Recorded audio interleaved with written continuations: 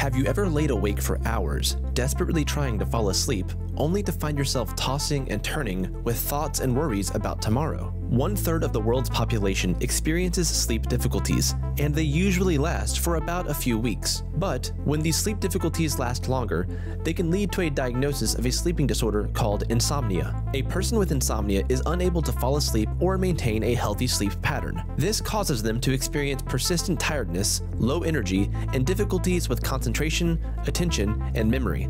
Insomnia can lead to stress, anxiety, and depression. It can affect work performances and the quality of life as a whole. Various studies from around the world have shown the prevalence of insomnia in 10% to as high as 60% of the population. Insomnia is common in older adults, females, and people with poor medical and mental health. So, what causes insomnia? For starters, there are biological factors, such as changes in the circadian rhythm, which acts as our body's natural clock. The circadian rhythm controls the timing during which we feel sleepy or awake throughout the day. These circadian rhythms are sensitive to our body temperature, alertness, and exposure to light. Little or too much of these can prevent our body from releasing enough sleep-inducing hormones such as melatonin. On the other hand, there are social factors such as night work shifts or frequent international travels. These cause our body clock to become out of sync with the environment it's in.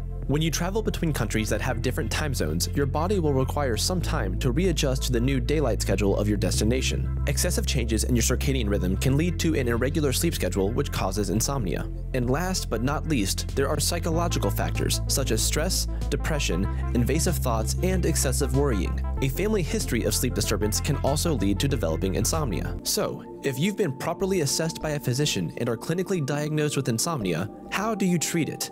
You can try to create a daily and consistent routine by going to bed and waking up at the same time each day. Make sure your bedroom feels dark, relaxing, and comfortable. You must limit your exposure to TV screens and mobile devices before you sleep. The blue light emitted by these screens prevents the production of melatonin, the hormone that controls your sleep-wake cycle. You should also eat light meals and avoid caffeine and alcohol before bedtime. You can also make it a habit to exercise and be physically active during the day. In more severe cases, you may be prescribed sleeping medications. But even if used correctly, these medications can only provide you with help for a short period of time, as they can become harmful and addictive if used for a longer period. For persisting insomnia insomnia symptoms, successful treatment requires cognitive behavioral therapy, also known as CBT. CBT has been found to reduce insomnia by 50%. CBT retrains people who suffer from insomnia to view the bedroom as a place of sleeping instead of a place of worrying about falling asleep.